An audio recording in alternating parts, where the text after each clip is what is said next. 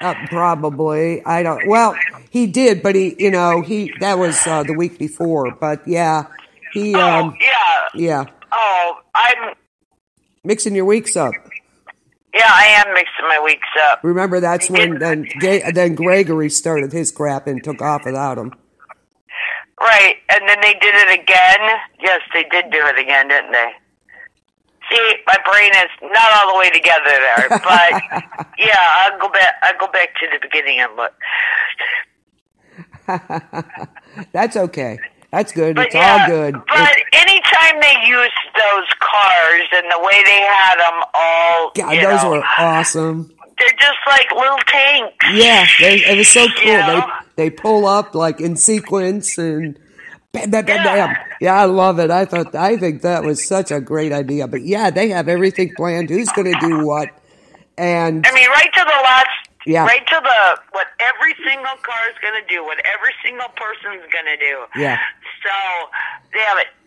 So you know they all have each other's backs that way because they all have their own their their own jobs that they have to do. right, So it's it's it's pretty amazing. Yeah. it's pretty amazing. yeah, Aaron and Eric out there, they're pretty cool. I was like, you Oh, go, Aaron. yes. you go, Aaron. Aaron has become quite the little leader. Yeah, when he's come from when he came from being such a pansy behind underneath his mama's skirt. yeah. If we remember. uh-huh. So yeah, Aaron has become um and Eric too. He it took him a Yeah. while to get the program, but he he did. He finally did. Yep.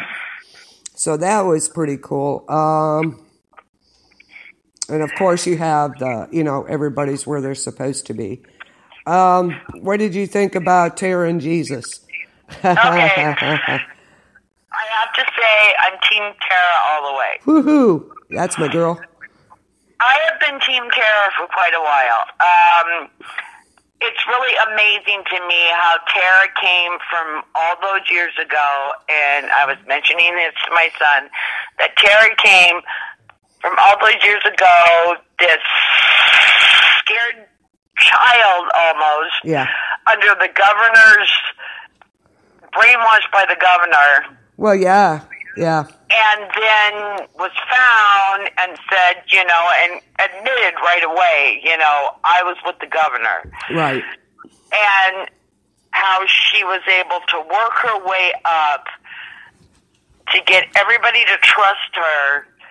And she's a leader now. Oh, yeah, definitely. Totally Definitely a leader. And she's a good leader. And, you know, hey, she has a babe like Rosita. But she's gone through, she's lost so many loves that have meant Yes. so much to her. Yes, and I don't thing. think Rosita means as much to her as, like, what was her name? The last one that she lost. Oh, Denise, Yes. the doctor. Yeah, yes, she was her love Yeah. of her life. yeah, So, um, yeah, it, it was, uh, yeah. So she's come a long way. yeah. She I, has. She has. And I just, I love her. I love I, I loved her in the first episode too with the licorice. You know, close enough. Oh, she was just. what the Twizzlers. Yeah, I Oh, love it. I love it. That was great. Um, yeah, And Team Terry. Twizzlers are even worse. So, I mean, you know, when they're stale Yeah, yeah. and they're. I don't Yeah. know how she could even be chewy. I know she was like, so oh, brittle. Yeah. She was like, they were gross. Yeah, maybe it maybe it complimented maybe it just complimented the her watching her watch as it's Yeah, ticking could- down. yeah, but it, uh, you know, uh, she she really has, and I'm Team Terry too. They went in there. The plan was kill them all because if you don't, they're going to come back and kill you. So, um, that dude, they should have uh, killed him on the spot, no doubts. Um, so, what did you think of when they uh, Ezekiel and them were fighting those walkers? And he, you hear the music in the background. It was freaking great. It was like his organ music playing. Yeah. I was like, that's so appropriate for this because King Ezekiel. One thing I was really bummed about this episode is damn it, I wanted to find out what find. I'm sorry, I shouldn't use that language. I wanted to find out what happened to Gabriel. Oh yeah, well you know they weren't going to tell us right away. Uh, we'll probably. Yeah, next episode. I I'll think so. Go back to it. Yeah, I think so. But still, I wanted to know. I mean, I know that's the way they do it. They'll leave you hanging for Oh. maybe one or two episodes, Uh-huh. and then they'll come back to it. hmm So Yep. that just is frustrating as hell to me. it is, but it keeps you on your seat. It really does. So, what did you think about Morgan? When all, all of a sudden, all you see was three three bodies going backwards. That was crazy. oh my gosh! When he got up, I, I thought up, he I thought he was a walker at first.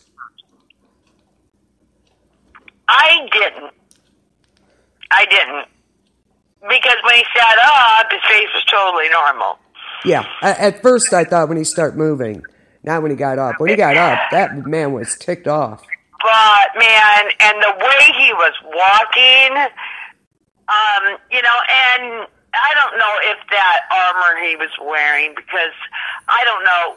Who knows what that armor was made of? Yeah, yeah, we don't know. I mean, it looked like he had a Kevlar vest on. You know, I'm sure they got some of those. like. Yeah, it looks like they got some of those. You know, I'm sure they did along the way. And that hurts just as bad. Oh yeah, My understanding. yeah, So I've never been shot while I was wearing it. yeah, But those, I've had one of those on before, and they're very, very, very heavy. yeah, yeah. They are. So yeah, But ah, yeah, that was one ticked off man going through that building. Pop, pop, pop. He was just popping everybody. It was great. I know. It was like made me think of the gunslinger. Yeah. yep. Just- And the way he was walking was such, you know, that's the first thing I thought of was was the gunslinger. The way he was walking, he had Yeah. the guns like this, and Yep. he, he he was just ready. Yep. Man, boom, boom, boom, boom. So- every one of you, when we saw. Yep. Okay, so now we're in the woods with um, Ezekiel and Carol because Yeah, they're tracking okay. that savior that grenaded them. And they want to get to him before he gets to that outpost. Um, what was up with that walker? Yeah. It, it looked like he had um, uh, the way it's described is it looked more like a vampire from the Blade or Underworld movies. Pale skin, elven ears, and decaying bat-like features. yeah. Uh, Ezekiel's like, "What befell this creature? what befell this creature?" I love King Zeke and his his monologue. It cracks me up. He's just uh, he's just so kingy, kingly. Uh, you know what I'm saying? But that that walker was totally okay. bizarre. bizarre. I wonder if there's uh, something else going on we don't know about. yeah. You know? Uh, yeah. I. That, yeah, that, that, because yeah, I mean, yeah, it looked weird. it To say did. the least. Yeah. It looked really weird. And uh, but Ezekiel, what befell this creature? I love him. He's so great. And then there's Jerry, Yeah. smack with the axe in the head. Gotta love Jerry. He he just he's something else. He just cracks me up. He's such a great character. Yeah, yeah. And when it when it when it uh, comes down to when he uh, he says, uh, uh, you know, and it, you know, Carol, you know, is perplexed by Ezekiel, Ezekiel's confidence. Yes, yes. He, he she's said- not so ready to say yeah. You know. Yeah, and he says, uh, he says, uh, "God, you made me lose my thought." Yeah. Dog, my dog walked right across the screen, and so of course it moved. Um, Yeah. He says, uh, it, he says his confidence comes from no and yes, yes and no, and then finally yes to both, both being the feeling of some divine confidence and simply project projecting some certainty. So he he um. It's his confidence is is all that re- is all that he really has. You yeah, know. yeah. It's fake it till you make it, baby. And that's that's how it is. You fake it till you make it. So good for right. him, and he's great Yep. at it. Um, and but you know that furthers Tara in Jesus' conflict. Is there a good and bad side? Uh, can they still be good if they commit acts of evil? Well, if they don't, they're just going to kill them. It's Yeah, but- it's a matter of self preservation at this point.